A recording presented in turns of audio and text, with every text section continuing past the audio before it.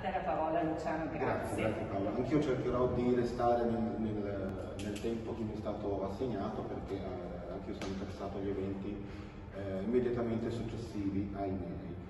Eh, premesso che non faccio mai premesse, una premessa anche questa, va bene, ehm, il tema inizia in modo un po' tecnico ma poi eh, va più liscio, però a mio avviso è importante spiegare che cosa si intende per ciclo planetario, che cos'è l'ICP, quindi io spiegherò magari un po' rapidamente eh, che cosa si intende, che utilità hanno queste due tecniche a livello, come vanno utilizzate a livello interpretativo, che utilità possono avere per rivedere la storia più o meno recente dell'umanità alla luce di queste tecniche e eh, conto di arrivare alla fine di questa mia presentazione eh,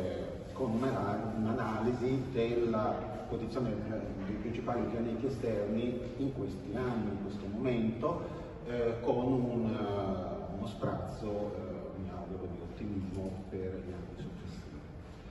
Eh, io conosco questo autore, Francesco André Barbot, perché ho avuto modo di tradurre parecchi suoi articoli.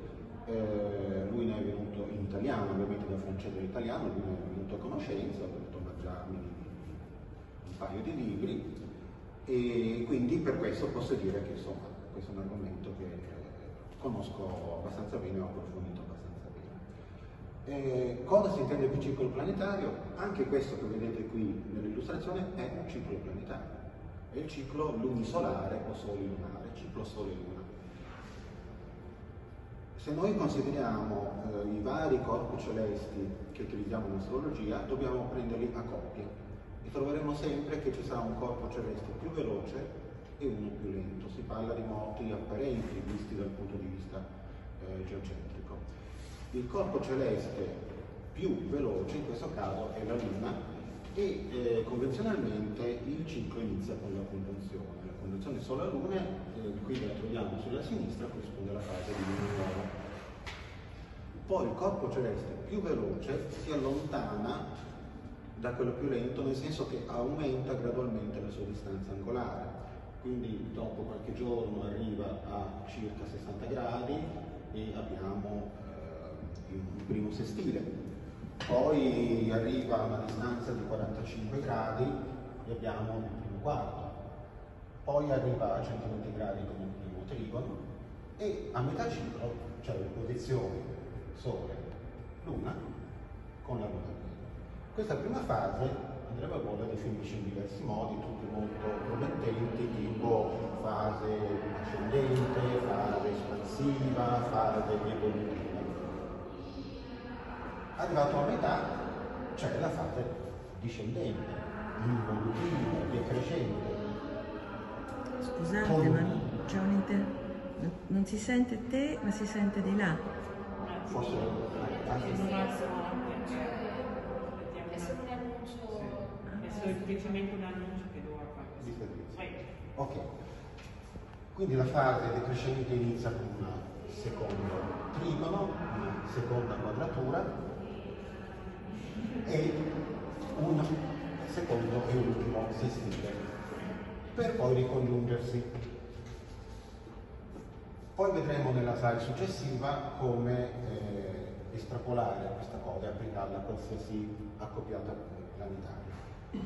Che significato ha questa cosa? Che utilità ha?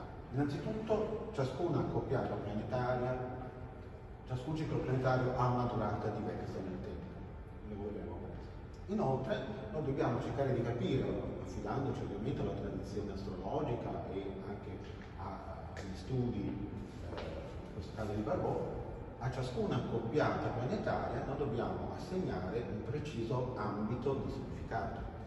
Senza quello non ci serve a niente. Lo vedremo nelle slide successive. Eh, la teoria, direi intrigante, ma eh, devo essere sincero, non necessariamente affidabilissima al 100% perché io sono fatto a modo mio e quindi ho voluto un attimino metterla alla prova, questa cosa sarà vero, e quindi ho fatto tutto un retrospettiva ehm, che oggi vi accennerò un po' rapidamente, chi è interessato può trovare dei video su YouTube mi soffermo anche con maggiore dovizia di, di, di dettaglio.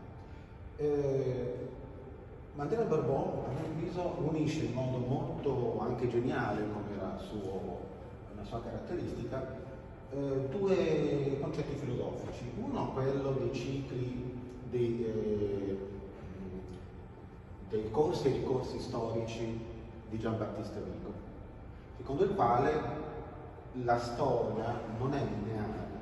Noi siamo abituati all'idea di una, di una progressione lineare, la produzione deve sempre aumentare, l'economia deve sempre migliorare.